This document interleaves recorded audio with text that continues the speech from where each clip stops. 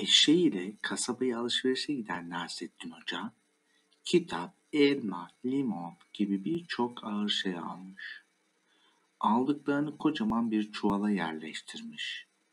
Çuvalı da sırtına alıp eşeğine binmiş.